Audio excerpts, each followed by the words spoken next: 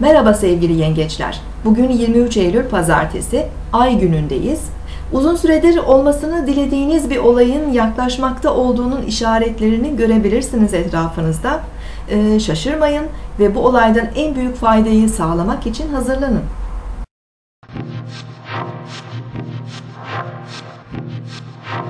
Burcunuzu dinlediniz. Bugün 23 Eylül Pazartesi, Ay günündeyiz. Boğa burcunda ilerleyen ay güne huzurlu ve güvenli enerjiler veriyor. Haftaya daha sakin ve kararlı başlayabiliriz. Sabah saat 10.13'te Ay Jüpiter'le sekstil açı yapacak ve ardından boşluğa girecek.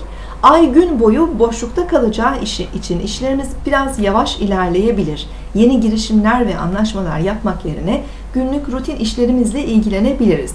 Ay Boğa burcunda olduğu için maddi manevi güvenliğimizle ilgili konular bugün daha fazla dikkatimizi çekecek. Keyifli faaliyetler, lezzetli yemekler de daha fazla ilgimizi çekebilir ya da gün boyu tembellik yapmak isteyebiliriz. Yarın tekrar görüşmek üzere. Hoşçakalın.